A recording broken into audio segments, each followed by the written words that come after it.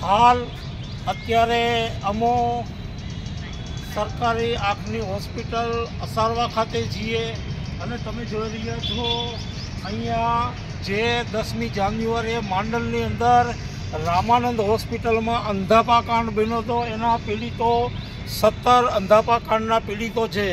જે લોકો ન્યાયની રાહમાં જુરે છે અને અહીંયા દર અઠવાડિયે સારવાર માટે આવવું પડે છે. જે વ્યક્તિઓ છે એ તમામ લોકો ગરીબ ઘરના છે, ભાડાના પણ પૈસા નથી હોતા, અહીંયાથી દવાખાનામાંથી જે સારવાર તો મળે છે, પણ જે દવા જે લખી દે છે તે બહારથી લાવવી પડે છે. એટલે અઠવાડિયે પરિવારોને, ગરીબ પરિવારોને ઓછામાં ઓછું બેથી અઢી હજારનો ખર્ચો થાય છે. હજુ સુધી ફરિયાદ નોંધાણી હાઈકોર્ટની અંદર સુઓ મોટો હાઈકોર્ટે લીધી.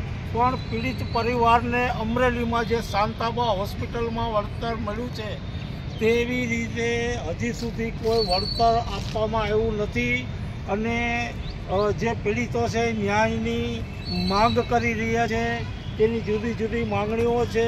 એ માંગણીઓને અનુસંધાને આજે એક બેઠક કરી તેઓની સાથે અને રાજ્ય માનવ અધિકાર આયોગમાં દિલ્હી હ્યુમન રાઇટ કમિશનમાં અને અલગ અલગ જગ્યાએ સરકારના વિવિધ વિભાગોમાં રજૂઆત કરી છે. ન્યાય માટેની માંગણી છે કે તાત્કાલિક ગરીબ પરિવારોને ન્યાય મળવો જોઈએ, એ લોકોને વળતર મળવું જોઈએ અને જે લોકો આના માટે જવાબદાર છે એની સામે તાત્કાલિક કાર્યવાહી થવી જોઈએ અને જે પીડિત ગરીબ પરિવારો છે એ પડી, પીડિત ગરીબ પરિવારોને ન્યાય માટેની તાત્કાલિક જે કાંઈ વ્યવસ્થા કરવી પડે એ કરવી જોઈએ અને વળતર તાત્કાલિક ચૂકવાવું જોઈએ.